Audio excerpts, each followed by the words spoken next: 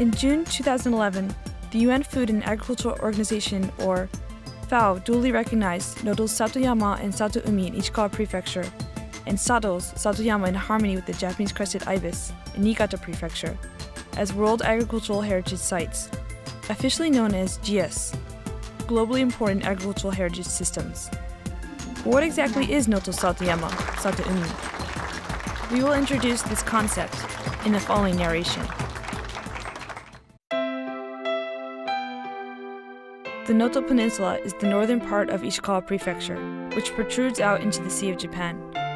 Most of this land consists of areas which we now designate as Satoyama.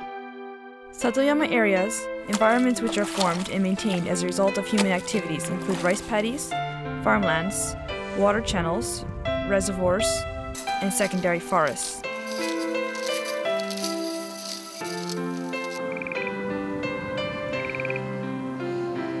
Not only do Satoyama regions provide places to live and produce food, but these areas also offer sources of fuel in the form of firewood and charcoal.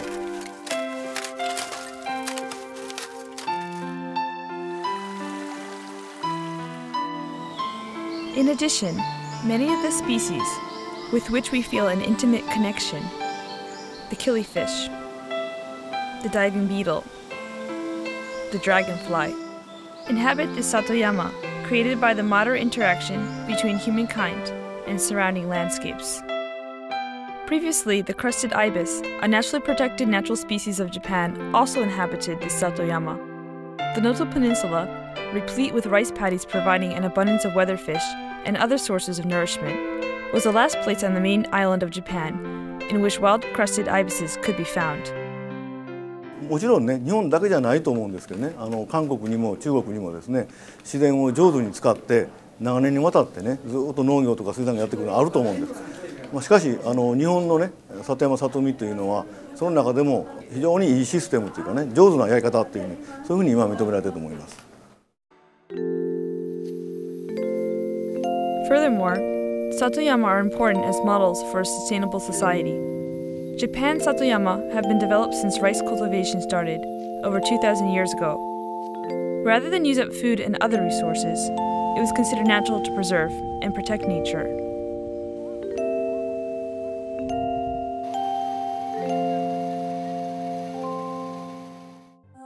The Noto is surrounded on three sides by ocean and endowed with a long coastline.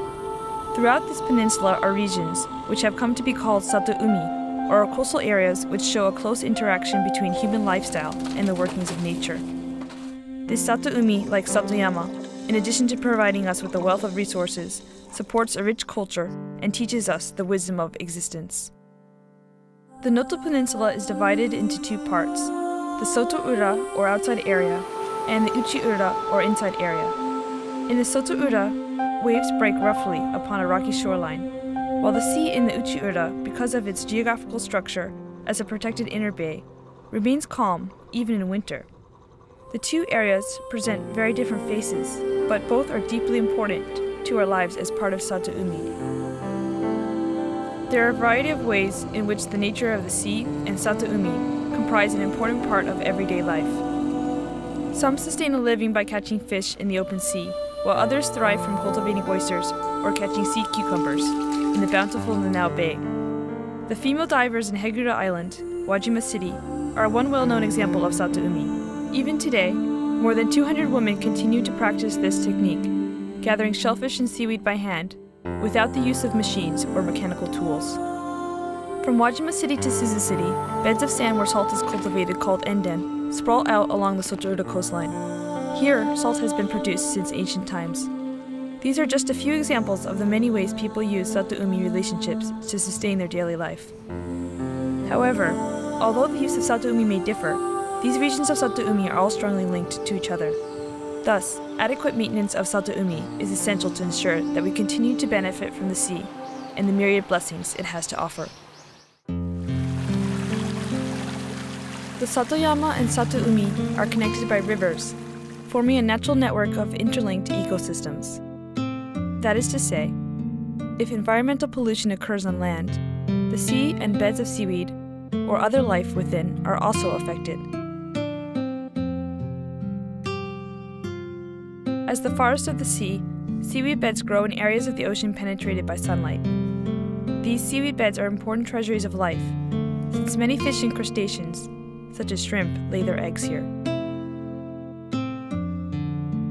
Basking in the rays of the sun, seaweed beds perform photosynthesis, which in turn supplies the water with oxygen, purifying the surrounding seawater and supporting the aquatic ecosystem. In this way, seaweed sustains the life of many organisms. The prevalence of these seaweed beds across its waters means that the Noto Peninsula is blessed with a rich harvest of the sea. Ways of life arising from Satoumi and Satoyama are deeply bound to the spiritual nature of Japanese people. In 2009, a traditional practice of the Noto Peninsula, passed down from ancient times, was recognized by UNESCO as an intangible cultural asset. It is called the Aenokoto.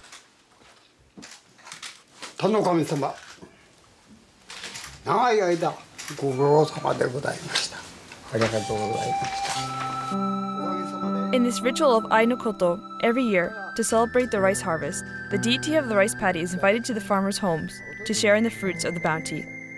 This sacred ceremony, a rare practice in East Asia, celebrates the close ties between agriculture and nature. In Aenokoto, the deity of the rice paddy is invited into the homes of the farmers, and each household welcomes the deity in its own unique way. The one thing that is common to all is that the head of the house speaks formally to the deity, describing in detail the hospitality he is receiving. The formality may even seem excessive, but there is a reason for this. The deity of the rice paddy is said to be blind. One legend says that his eyes were damaged by an ear of rice. So the head of the household goes to the rice paddy to carefully and politely guide the deity to his home, making sure the deity won't stumble along the way and that he won't trip over the threshold of the doorway when entering the house.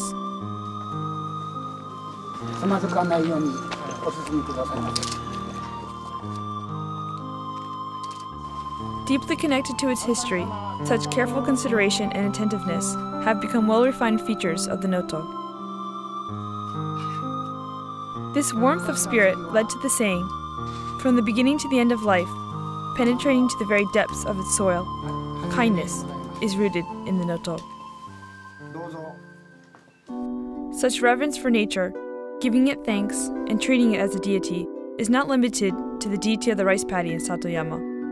In Wajima City, the Ebisu Festival is held every year on November 20th and January 10th, and a Shinto ritual is performed to pray for safety on the sea and a bountiful catch.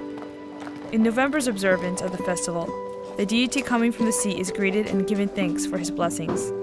In January, the deity then is sent back to the sea, signaling the official beginning of the fishing season.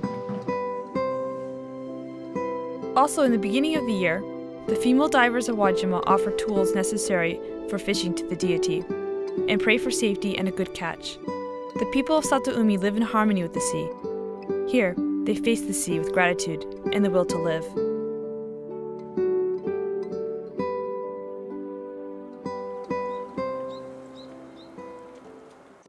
In October 2010, the 10th conference of the parties to the Convention on Biological Diversity was held in Nagoya City. And the International Partnership for the Satoyama Initiative, which called for further development of Satoyama and Satoumi in order to renew the bonds between man and nature, was launched. Each attendee country's respective governmental body acknowledged the proposal and pledged to lend a hand in collaborative efforts towards this initiative.